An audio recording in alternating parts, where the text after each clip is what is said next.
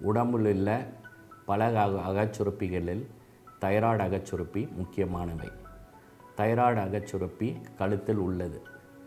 அகச்சுரப்பியின் கோளாறுகள் பல விதத்தில் ஏற்படலாம். தைராய்டு அகச்சுரப்பி வீங்கி கட்டி ஏற்பட்டால் அதுக்கு காய்டர் என்று பேர்.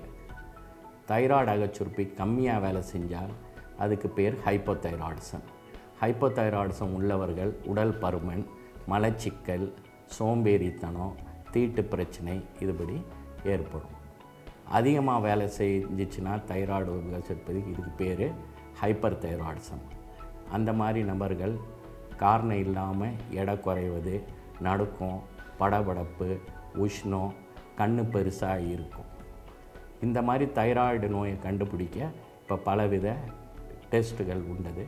இதை வந்து எண்டோக்கரைன் சம்மந்தப்பட்ட டாக்டர் கண்டுபிடிச்சி வைத்தியம் பண்ணலாம்.